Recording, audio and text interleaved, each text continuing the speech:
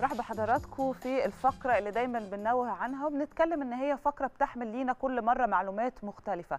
هنتكلم تحديدا النهاردة عن السلوكيات اللي ممكن يعني تصيبنا بالأمراض من غير ما نحسه وبالتالي بتسبب برضو ضعف في المناعة. وكل شوية يجي فيروس لينا ويقتحم أجسادنا وبعدين نقول هو إحنا ليه بيجرى لنا كده؟ ده ممكن كله يكون راجع لأن إحنا عندنا سلوكيات خاطئة للأسف الشديد بتهدد المناعة بتاعتنا وإحنا مش عارفين. عشان كده من خلال الفقرة دي هنعرف إزاي ممكن نقوي المناعة بتاعتنا. إزاي ممكن يبقى يعني حياتنا ليها سلوك معين من خلال السلوك ده؟ إحنا ممكن يبقى عندنا زي ما بيتقال كده يعني awareness أكتر أو جسمنا يكون يعني زي حائط سد لأي فيروس إن هو ممكن يقتحم أجسادنا. خلينا نعرف كل ده وإزاي بيتم والصحة النفسية برضو تأثيرها إزاي مع دكتور دينا أبو السعود اللي بتنورنا دايما المستشار الطبي لشركة بايو ناتشورال. صباح الفل وصباح الحب النهارده. يوم مميز وموضوع مميز. طبعا صباح الخير عليكي يا نهاوند وعلى كل مشاهدين القناة الجميلة قناة الأهلي. منورانا وده بيتك بقى خلاص؟ خلاص. ده مكانك بتطلبي بالاسم والناس بتخش تسألنا قد كده استشارات واسألوا لنا دكتور دينا لو دخلتي على تويتر هتشوفي. آه، النهارده توبيك مهم جدا آه، فكرة هنا جهاز المناعة وإزاي زي ما أنا قلت جسمي يكون يعني هو اللي بيدافع على طول قبل أي فيروس لما يتمكن مني.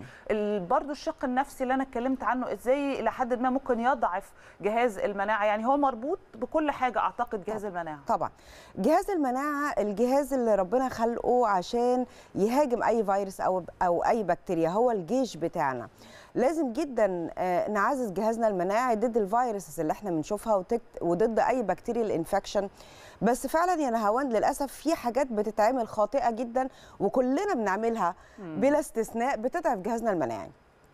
آه، زي إيه؟ لو قلتي لي الصحة النفسية ال stress ال stress والضغوط العصبية ده بيهد جهازنا المناعي لأنه بيرفع لي نسبة الكورتيزول اللي بتطلع من الغد الهرمون اللي بيطلع من الغدة الكظريه ده بيهد جهاز المناعة بس أقول لك على حاجة هنا يا دكتور معاكي.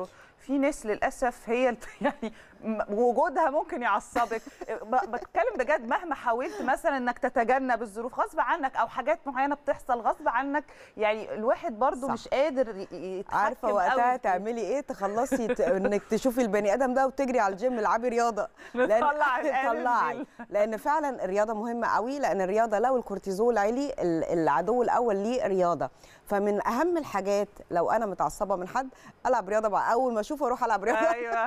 يجي بفايده برضه أهو يبقى في فايدة منه. بالظبط.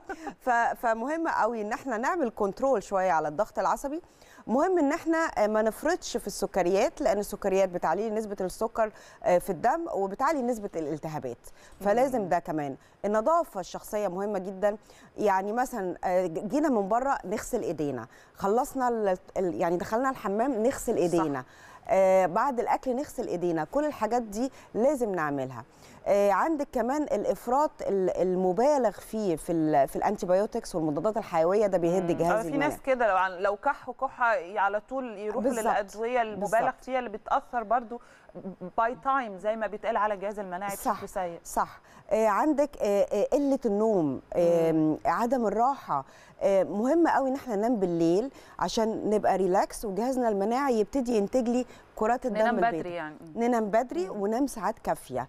آه، مهم جدا إن إحنا نقلل التدخين لو في فئة بتدخن نقلل التدخين بقدر الإمكان ونشرب مية كويس وناكل أكل فيه vitamins وفيه حديد عشان الأكل الصحي هو اللي بيعزز لي جهازي المناعي. فنعمل كل ده هنقدر جهاز المناعي يشتغل ويحارب ال viruses والبكتيريا اللي بتخش. كويس جدا. عملنا